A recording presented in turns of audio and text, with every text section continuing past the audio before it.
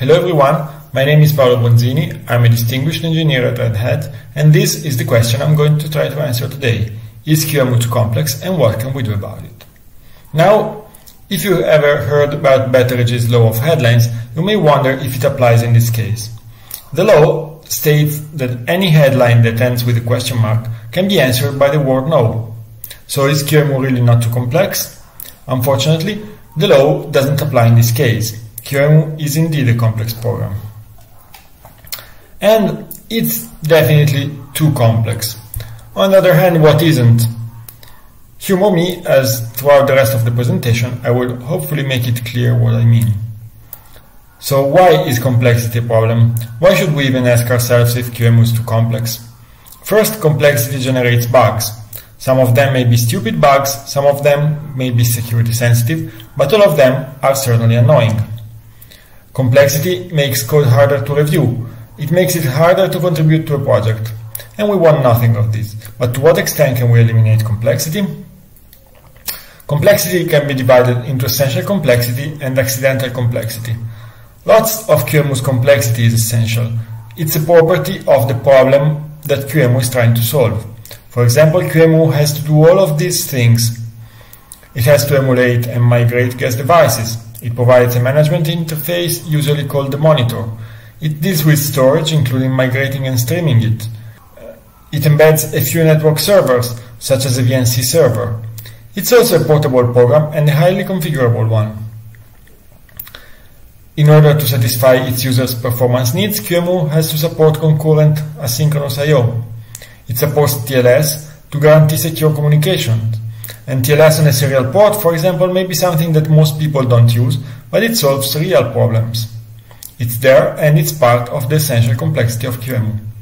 QEMU has to provide hot plug capabilities, it has to provide stable CPU models after you upgrade the hardware and stable device models after you upgrade QEMU itself. I have already mentioned live migration, and for many users, it's also important to use QEMU with a distribution kernel rather than a custom-built kernel. Even being able to boot non-Linux operating systems is a necessary feature for many QEMU users, and it counts as essential complexity. It's also essential for many users to have an easy way to interact with the program, which is why QEMU doesn't just have the JSON-based QMP interface, but also what's called the Human Monitor interface. For the same reason, QEMU provides easy options for command line use. Even if my customers are enterprise customers and they use libvirt and kubevirt and all that, I myself prefer using these easy options when developing. It's just so much more handy for quick testing of new features, for example, and for debugging. Also for the debugging, QEMU provides disassembler, and it also supports multiple accelerators because of how portable it is. It supports KVM on Linux, Hypervisor Framework on macOS, the Windows Hypervisor extensions, and even a new accelerator for NetBSD. QEMU contains an object model with the ability of marshalling and unmarshalling those objects and the value of their properties between C structs, JSON objects, strings for the command line, strings for the human monitor, and even the graphical user interface of QEMU is part of essential complexity. Nowadays, it's pretty common to use VNC with interfaces such as Virt Manager or Virt Viewer, but still having a simple user interface is useful for, prototyping. As a developer, you may also be interested on the complexities that tools bring in. These could be both internal and external tools. Why do we use tools as part of building QEMU? Basically, it's a matter of making common tasks easier versus occasionally, unfortunately, making debugging harder when those tools break. For example, in the build system, we used to use only shell scripts and make, but right now the build rules are generated by Meson, and Meson also handles a lot of the work that was previously performed by shell scripts. We used to have handwritten configuration, including all the devices in the board, but now we have a dependency system that automatically enables the devices that are required or recommended by a board. And the configuration management also ensures that impossible configurations don't build, which is easier for developers. Another example is code generation for the marshalling and unmarshalling of C data structure. This is taken care of by the QAPI code generator. Now, this is all about the essential complexity of QEMU. Instead, the accidental complexity is what makes QEMU too complex. It's just a property of the program that solves QEMU's problems, but it's not intrinsic in the problem that QEMU solves. How do you fight accidental complexity? First and foremost, you need to understand the domain. Know what is the essential part of the complexity so that you don't mistake it for something that is just accidental. And also, you should know what is it that ends up generating accidental complexity. When making changes to the program, you should always keep in mind your knowledge of the domain, your knowledge of why some things are intrinsically hard. And not just that, essential complexity can be used to your advantage. After all, it's not going to go away, so you might as well use it to solve the problem in the best possible way. At the same time, watch out for accidental complexity as it arises. Catch it before it takes over the project. This, in my opinion, is a primary part of a reviewer's job. Sure, they have to make sure that the code works and they doesn't have uh, any security issues, but a huge part of being a maintainer is also keeping the code complexity at bay. What are the sources of accidental complexity? How do you note that accidental complexity is increasing in your project? For example, you could start noticing multiple incomplete transitions. Incomplete transitions in many cases arise when you find a new and better way to do the same thing but you don't apply it everywhere in the codebase. Also, incomplete transitions arise when features are introduced, but they are only supported by a few select targets and devices. So you end up with two different ways to do the same thing, or you end up with things that may or may not work depending on what the user is doing exactly. Another sign of accidental complexity is duplicated logic. For example, duplicated logic arises when the code is missing some useful abstractions that could be applied throughout it, or when too much code is ad hoc and forgoes a more general approach to the task. So, let's start with the incomplete transitions. In fact, in QEMU, there are many cases in which we started with a new way of doing something, but we haven't applied it to the whole code base. For example, uh, there's error reporting, where we have a propagation-based API, and some functions that just write errors to the standard output. The propagation-based API was introduced in order to have errors in the QMP monitor and to separate the point where errors happen from the point and the way uh, where errors are reported. It also allows for error recovery because, for example, a recoverable error is catched using the API and not reported to the user at all. Another one is modeling the boards. Newer boards tend to use QOM more. They tend to attach child objects to the board in some kind of composition tree that matches the composition tree of the C structs. Older boards just create devices don't uh, give them an explicit relationship other than pins or interrupts. Or maybe not even that. Some older boards do not even have uh, devices as separate uh, QOM objects, and uh, those devices are just random malloc block of memory connected by function calls. This new way of modeling composition produces better modularity and makes the code easier to understand. Another incomplete transition has to do with live migration. Here, sometimes, the older VM state register API cannot be removed at all because switching to the new API might break the migration from older version of QEMU. And there's also, of course, simple examples. Most timers uh, are allocated uh, in memory and used to a pointer, but really there's no reason for that, and we could just embed them uh, in struct and save a couple lines of code here and there. And of course, the newest incomplete transition in QEMU is moving configuration tests from shell scripts to Meson. That said, we also have a decent track record of completing transitions. In many cases, these automated transitions were done with Coccinelle. If you don't know it, that's a tool that takes so-called uh, semantic patches and applies them uniformly to a large code base. And uh, the four examples in the slides were all done in an automated fashion. The first one is simply remove the useless function call. Uh, well, of course, those function calls were not useless. They became useless after the API was improved. In the second and the third case, the semantic patch looks at code that is going through unnecessary hoops and turns it into something simpler. In the final case, however, a whole new API for creating and realizing uh, new devices was introduced almost exclusively with Coccinelle. This was a very large change in the API, and it was actually realized as a single series of patches thanks to the power of this tool, and of course the persistence of the submitter.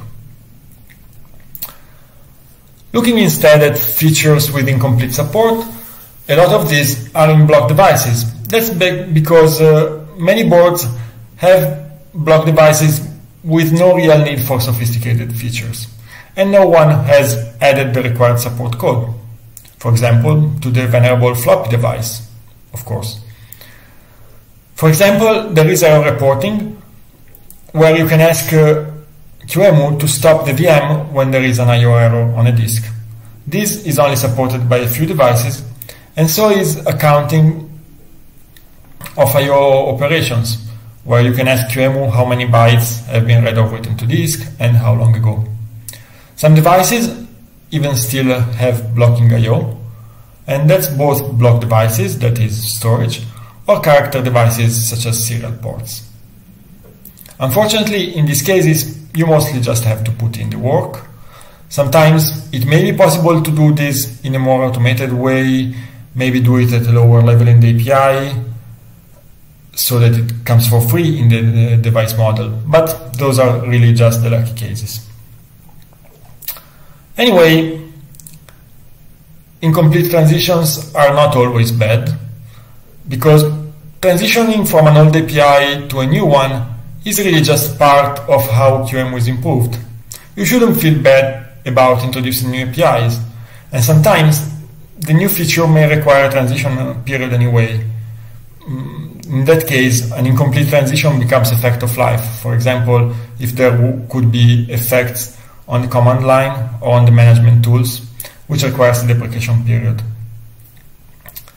In that case, just use the transition period to your advantage. Work in phases, commit the smallest amount of work that already constitutes an improvement, and just make a plan for what comes later.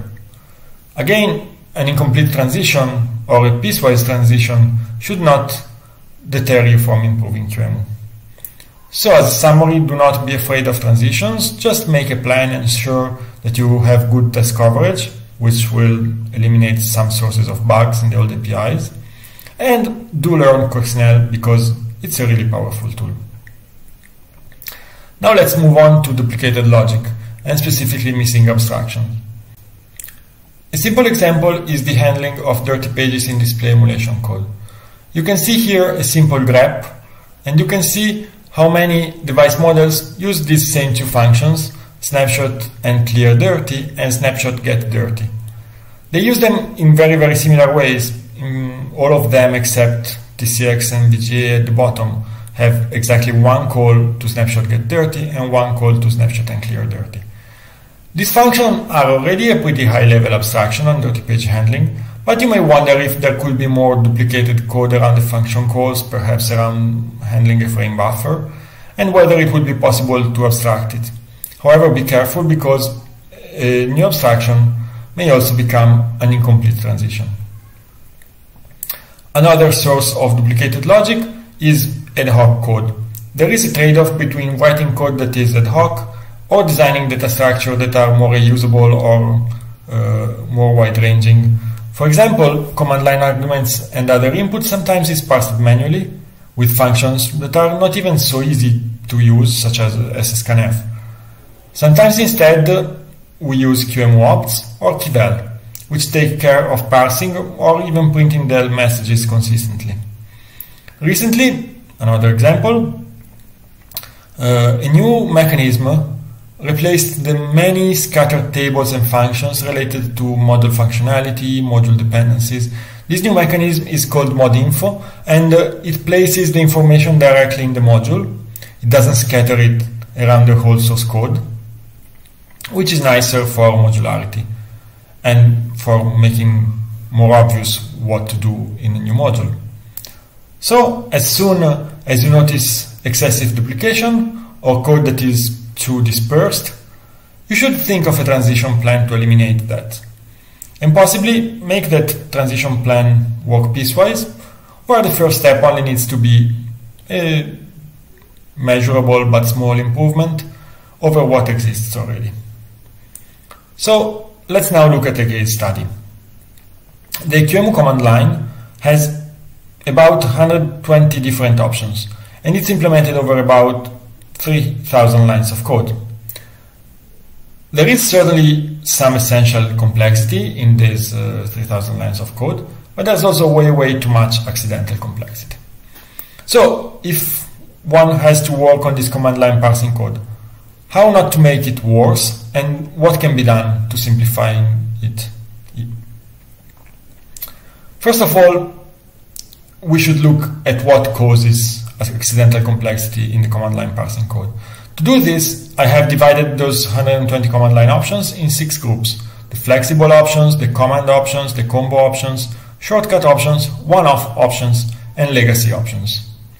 These groups here are sorted from the ones that are more essential to the one that really need uh, refactoring, deprecation, or removal.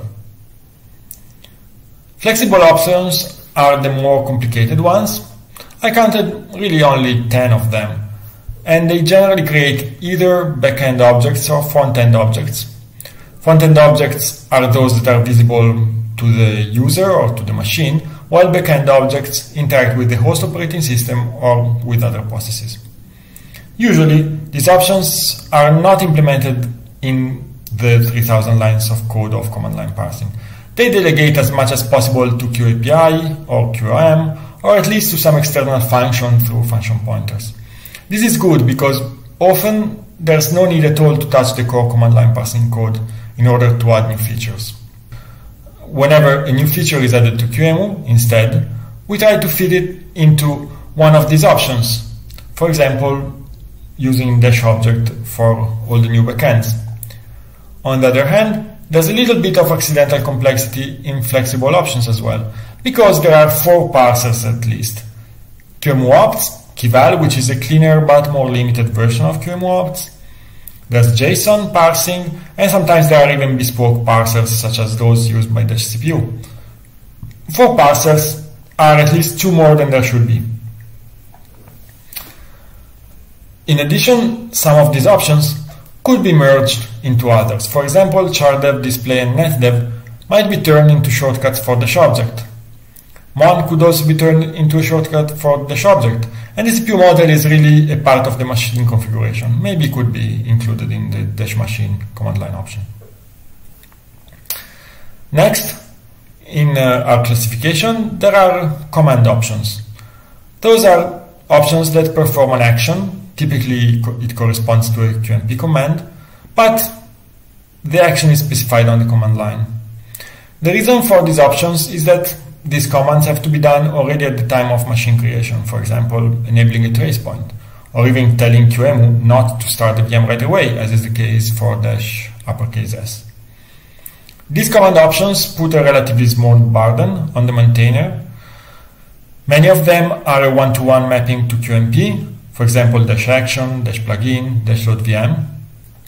Nevertheless, we should keep a high bar for adding new ones because it's usually easier to just invoke the same commands from the monitor instead of the command line. Combo options are where we start the uh, descent into accidental complexity hell. These, op these options create both the backend and the frontend in a single command line option.